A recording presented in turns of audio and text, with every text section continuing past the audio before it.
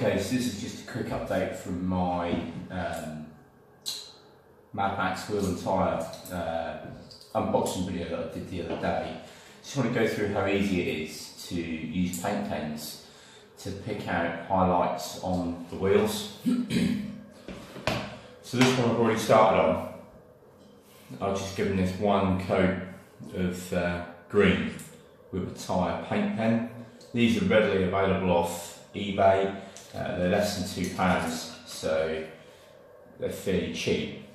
Now, this contains paint inside, similar to a Tipp-Ex pen, with a felt nib, and the nib is sprung. Uh, you compress the nib to release a little diaphragm to allow paint on. When they come, they come as just a fibre nib, so initially you have to spend uh, just a little bit of time dabbing it down and allowing the paint to drain into the nib. And once you've done that, all you do is you pick out whatever bits you want to highlight. So on this we're going for the name of the wheel and tyre. You just very lightly go over it on the top. Now when you're doing, um, say like a couple of coats on something, you have to leave this to fully, fully set before you do another coat. Otherwise, if it's too soft, all it does is scrapes off the first coat back to the rubber. Now, I'm no artist by any means, but because these are raised up, it makes it extremely easy to uh, pick it out and make it look nice and neat. Now obviously this is purely for looks and for show, there's no real benefit from this other than um, picking up, you know, highlighting colours that are going to um, look nice on the truck when it's completed. So bear in mind as well, when you are running, if you go scraping along things, it is going to come off, but there's nothing stopping you from just giving it a quick uh, second coat. Right.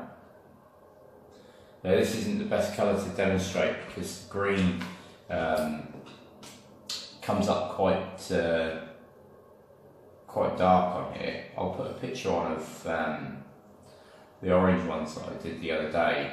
The orange came up quite nicely. So you see it's uh, simple. It doesn't rub off easily. You know, it does tend to be a case of um, scraping it off. So you haven't got to worry about it just you know willy nilly coming off when you run the run the cars. But I do feel it does just add an extra um, an extra bit of detail. It allows you to personalise your truck. If you're not sure what colour you want to go for, you can um, buy a big pack of different colours of these for seven or eight pounds. They're really not a lot of money for um, the effect that you get. Okay, so you see how quickly I've done that now. Um, I appreciate that it might be a little bit hard to see on the camera. Now when that dries, this one's dried and it's dried up slightly lighter. and that, again, that's just a single coat. But now this one's dry, I can actually go over that with a second coat. It's just going to bring that out a little bit more. If there's any bits that are a bit thin or I've missed, just highlight that a little bit more. I'm not applying much pressure when I do this as well. I'm allowing the, the, the paint from the nib to sort of pull up almost so it's fairly thick.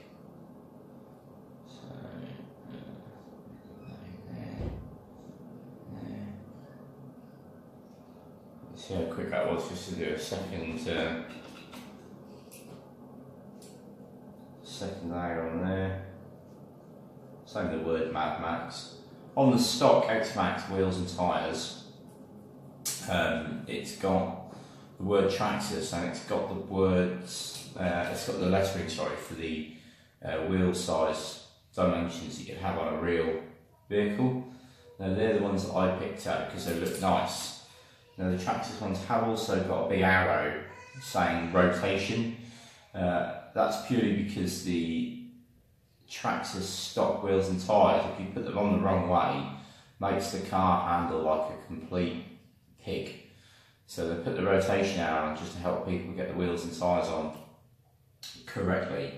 Uh, but I personally wouldn't highlight that just because it's not very uh, realistic looking.